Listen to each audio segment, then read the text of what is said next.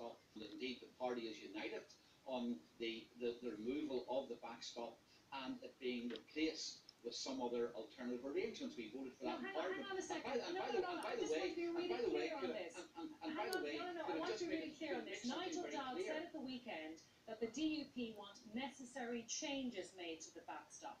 He did not say the backstop needed to be removed, which is what you're saying tonight. Britain brings from Ireland being cut off. So you're threatening you us now, you're no, threatening us now with Well, economic threatening. devastation, or else we accept that there's no backstop No. there. Main market. Okay. You know, any sensible politician. Oh, So what is the other plan though? What is the other plan? Because we know Donald Tusk said last week there's a special place in hell for Brexiteers who advocated Brexit without a plan. Are you the person who advocated for Brexit without the plan? Are you the person he was talking about? public.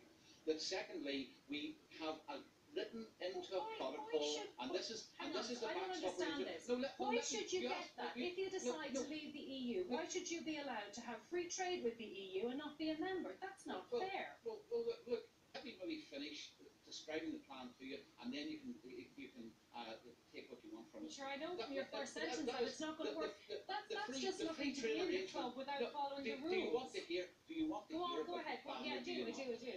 Well, good. Well, let's go through it. The requirements that the EU have demanded in these you- negotiations. You mentioned uh, good relationships after all of this. How do you think your relationship sits now with the Irish government? And in particular, how do you feel tonight about Peter Leo Varadkar? Well, I think that Varadkar has behaved in an abominable way during these negotiations. Don't forget, these are the kind of threats we have had from the Taoiseach.